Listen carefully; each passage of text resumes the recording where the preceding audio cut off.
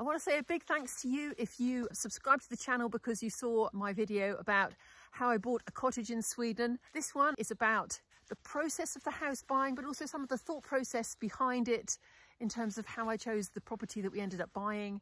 And I'll also be sharing some of the things I wish we'd known before we bought the house and things I think I'd probably do differently a second time around.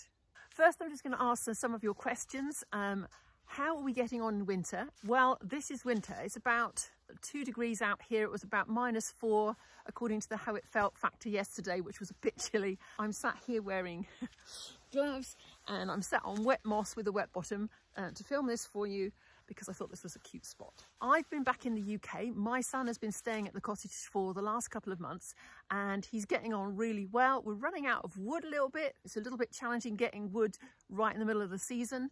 Um, he's chopped down a couple of trees for wood for next season, but that's not going to help him this season. But he is loving it. They're going for swims in the lake on a regular basis. Yes, even in December. How is my Swedish? Inte bra. it's not great.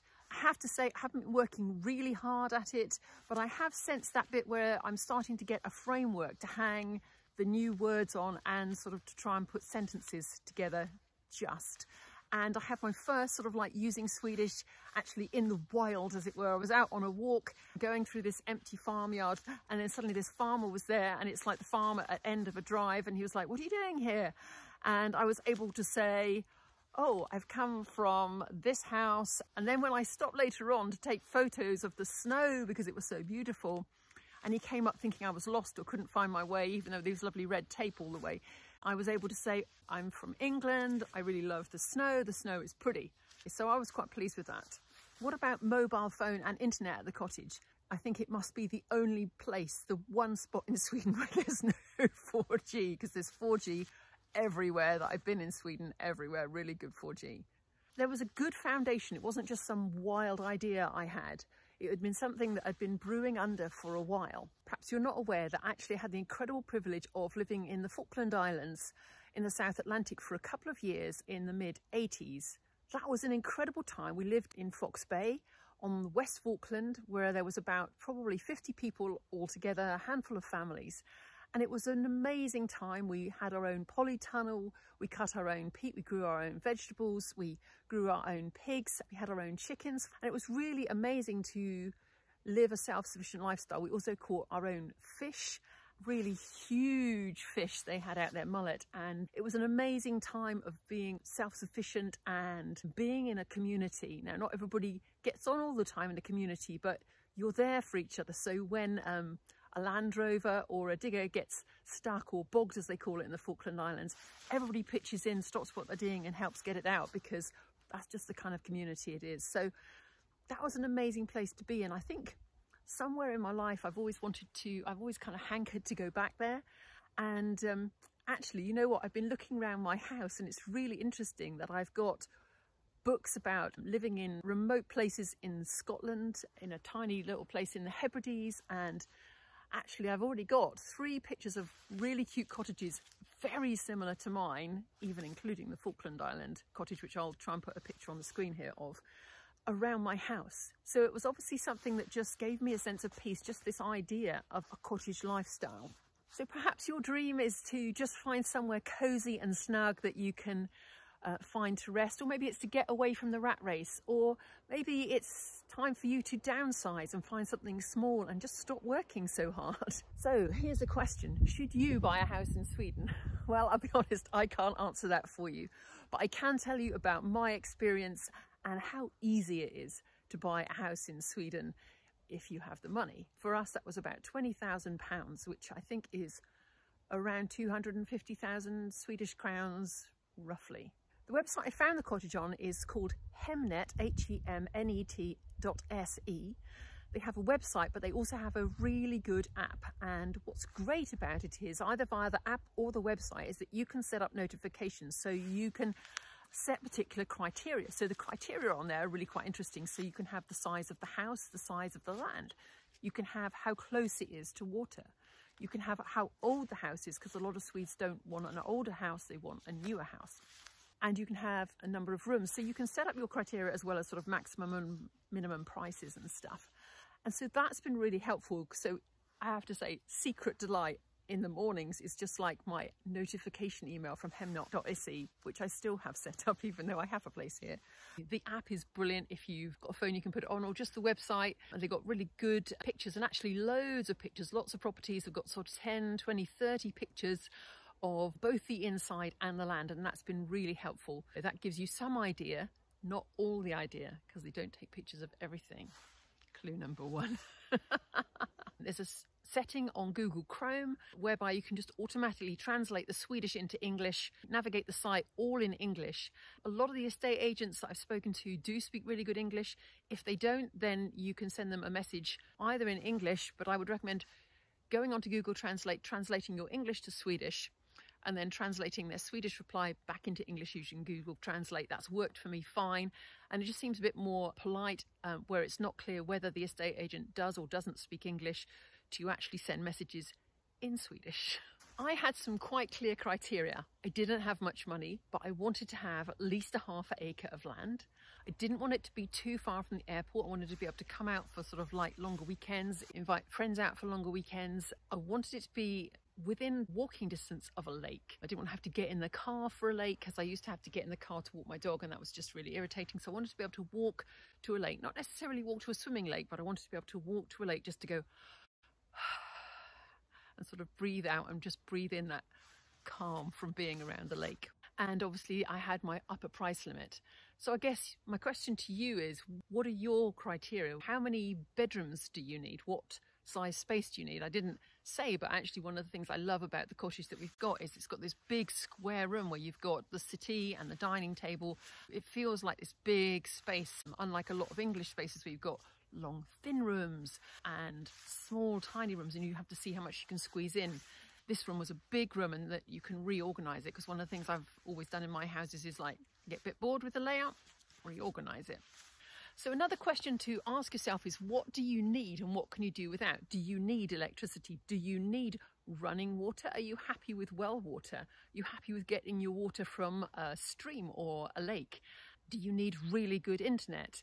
When you're talking to the estate agent, these are questions you can ask because often the listings aren't always clear about whether they've got water or electricity. Um, sometimes they'll say that there's water to the border or electricity to the border, but then obviously you've got to pay the connection or even internet to the border of the property and you need to pay the connection fee. But these are all questions to ask. And if you're in a snow zone as well, a question to ask is whether that is one of the roads that gets cleared from snow in the winter, because obviously that's going to make a big difference to you. So my cottage has got water from a pump and it does have electricity. So it's not off grid. It feels kind of off grid because it's rural and so on. I think there's enough sort of challenges with it, like the challenge with finding firewood and the challenge of having to draw water every day and then boil water and washing up is not straightforward.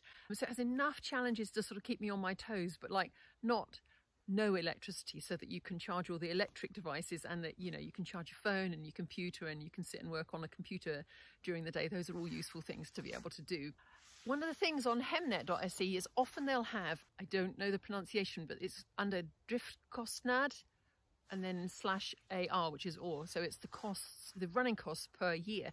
And obviously up north, that's going to include massive heating costs. So if you're looking at anything up north, going to be looking at two, three thousand pounds a year, or two and a half, four and a half thousand dollars per year for running costs. Whereas the uh, cottage we bought probably said about eight hundred pounds, which is probably about a thousand dollars a year. And it's worth asking what that includes. I've just seen Naomi Jacks new video. I want to sign off and watch it, but I'm going to finish this one for you guys.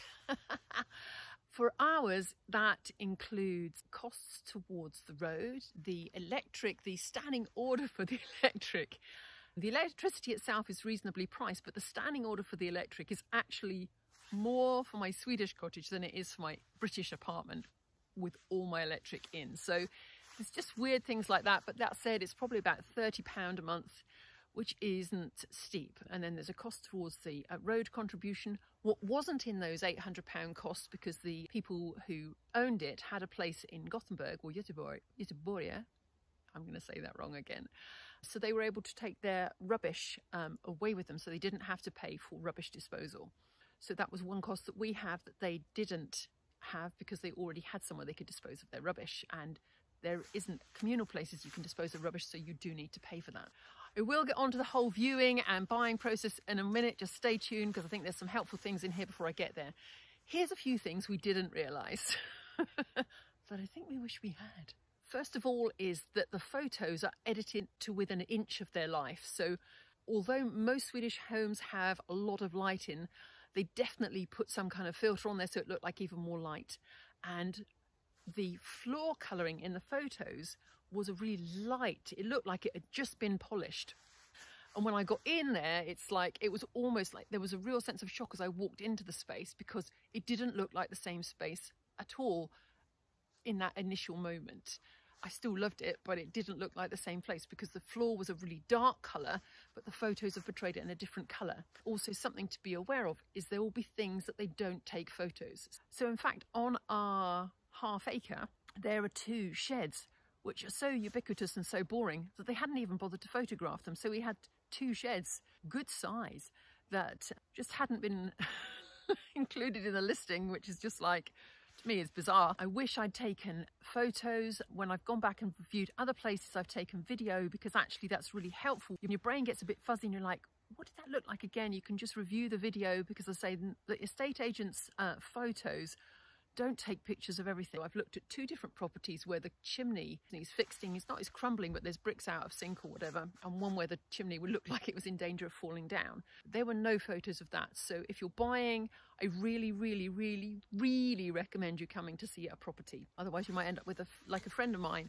who bought a place here and has ended up with a problem to fix, which was unexpected simply because there were things that weren't shown on the photos. so definitely have a visit.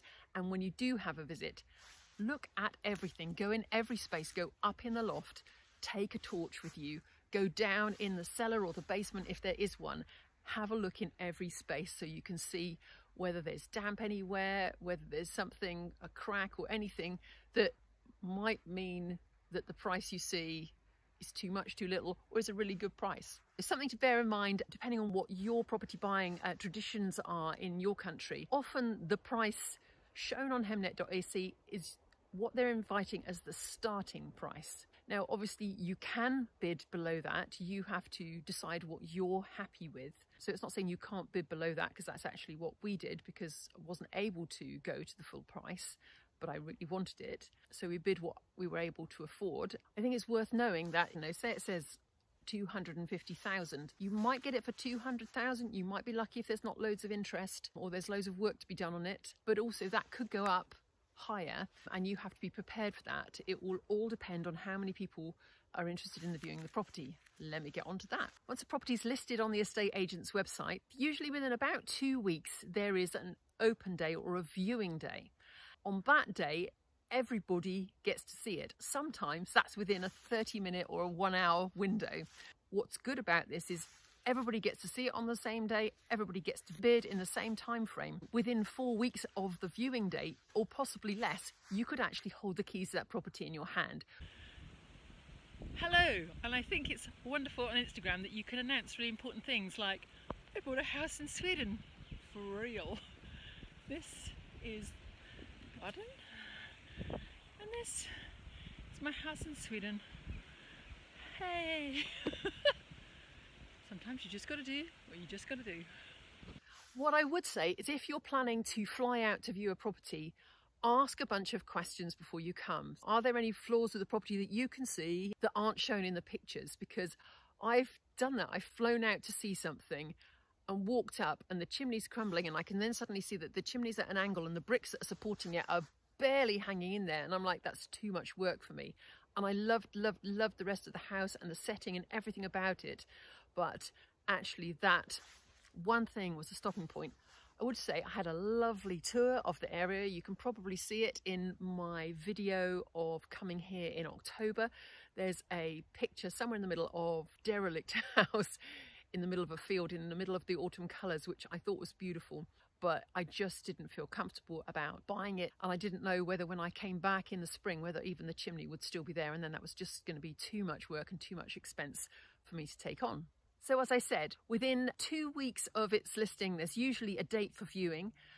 It's best to try and attend that viewing if you possibly can. If you're in the area but the viewing isn't till another day, is often if you call the estate agents, especially if it's a summer house or there's no one living there, is that you can actually go and look around the outside, you can walk around the grounds, and that's been really helpful. You know, you can go around the land and you can look in the windows of the property. As I say, if there's a summer cottage and there's nobody there, and get a feeling for whether it sort of feels right for you.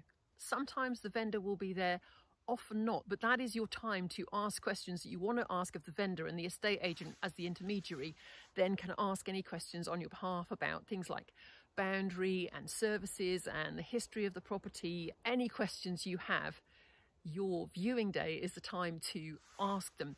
And as I say, it can be really weird and a little feel pressured because you're pitching up and actually all these other people are sort of, the cars are parking there and you've got three or four other couples walking around and you're sort of looking at the same time, kind of spying each other is the most peculiar thing.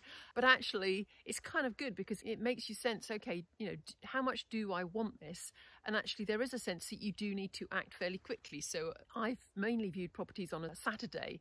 And then I think the cottage, we probably put the bid in. I was trying to play it cool. I was like, I'm playing it cool. I think I waited till like 11 o'clock in the morning to phone and put the bid in. I was desperate to call at nine o'clock, but I waited till 11 because I didn't want to show that I was too keen. But I think we were probably the only people bidding on that cottage. I think there were probably some other people went round that day. Perhaps there was too much work for them, but it was just my dream home, as it were. And everything about it really felt perfect and it felt like the right place. And so for a week or so, kind of sat there waiting, waiting to see because not understanding the Swedish system was just like, I don't know how this is going to work. And obviously, there's often a deadline for bids to be in. I didn't know whether somebody was going to come in at the last minute with a higher bid and sort of pip us to the post. But thankfully, that didn't happen. And I was then called to say, Your bid has been successful, which was amazing. At this point, you're not 100% committed. You are then invited, you have, I think, quite a short period. I'd like to say 48 hours, but it's not very long to put down a 10% deposit, and that is forfeitable if you don't go through with the sale. Now, if you are interested in a property, you do need to register your interest, and that will mean that then once the bids start coming in, you will get notified. Hopefully, if it's a good estate agent, you'll get called or emailed to ask you if you're interested in bidding on the property. But you do need to register your interest and let them have your email and your phone number. What's really great then is as soon as a bid is placed, so certainly I've had this on one property, sometimes it's closed bids, but mostly it seems to be open bids, I think. Uh, when it's open bids, you'll basically just get a text saying, bidder one has bid this amount and then you know you might get a bid a couple of days later saying bidder three has bid this amount and then bidder one has bid a higher amount and so you get you, nobody names names but you can see which bidder is bidding and there's no onus necessarily on the property owner to sell it to the highest bidder, but they do have the discretion and they can decide who they're comfortable selling it with. Now, the part I like about the whole system is that there are no solicitors. In the UK, the person who's selling has a solicitor and the person who's buying has a solicitor and supposedly they talk to each other but then what actually happens is you have to remind the solicitor to do their job and then they don't do their job and then everything takes weeks and it's really frustrating whereas what happens here is that the estate agent who sold it to you handles all the legal paperwork, which is why you can have it that you actually can pick up the keys almost next day if everything's done and dusted. I think if we'd been in Sweden, the whole process would have taken four weeks, but because the paperwork had to come back with some forwards, I think it took about six weeks altogether before we could come over and pick up the keys.